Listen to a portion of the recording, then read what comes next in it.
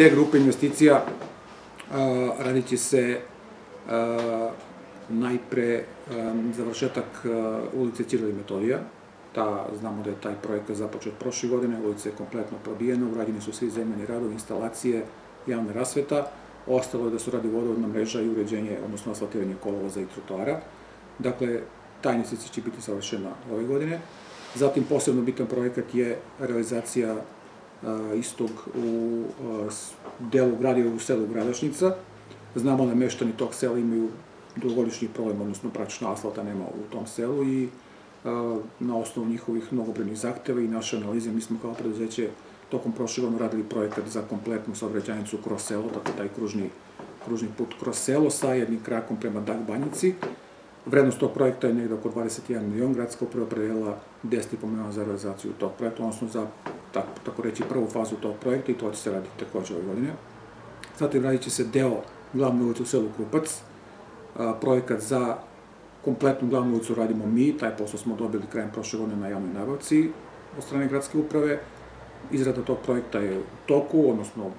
očekujemo da do kraja meseca bude završena i gradska uprava opredela jedan deo sredstava za realizaciju tog projekta, odnosno, kažem, radit će se prva faza uređenja glavne ulice u selu Krupac. E, takođe u planu je da se radi i novo projektovana saobraćajnica u, na potezu Zapadni Kej, dakle još jedna saobraćajnica pored one koja je prošle godine izgrađena kao krak ulice Vojvode Mišića. Zatim radit se trotoarske površine u ulici Srpskih vladara, to je ovaj potez ispred hotela Pirot, odnosno tačnije od Belog trga pa do ulice Kneza Miloša, to je jedan, jedan manji deo trotoara koji je ostao zaista neuređen i taj projekat je nedavno završen i realizacija će uslediti takođe dakle, ove godine. I posebno bitan takođe projekat po meni jeste uređenje trotoarskih površina u celoj dužini ulice Vuka Pantelića. Znamo da je ta ulica poprilično prometna, da je širina kolovoza mala, odnosno nedovoljna, da su trotoarske površine veoma, odnosno neuređenje i sa velikim brojem parkiranih vozila i da je praktično kretanje pešaka uglavnom se odvija ulicom, a znamo da tu se odreće dosta veliki broj djece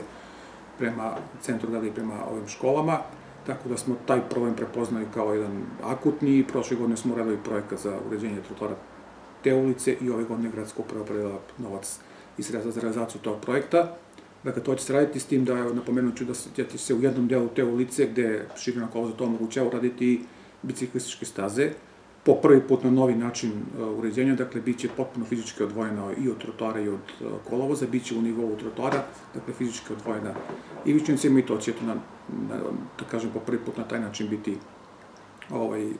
uređenje biciklističkih staza. Sa takvim uređenjem mi kao preduzeće nastavljamo kod projektovanja nekih drugih ulica gde je to, gde to moguće, tako da ćemo o tome govoriti ovaj, neki drugi put, ali je to, kažem, i sa, sa tom nekom novinom krećemo ove godine.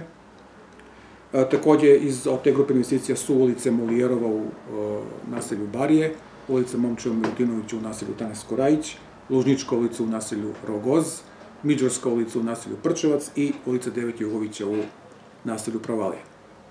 Ove investicije, kao i prošle godine, tamo gde je vodovod uh, iskazao potrebu za zamenu vodovodne mreže, da ne pominjem sada koje, ali u nekih 5-6 ulica će prethodno biti zamenjena vodovodna mreža, tako da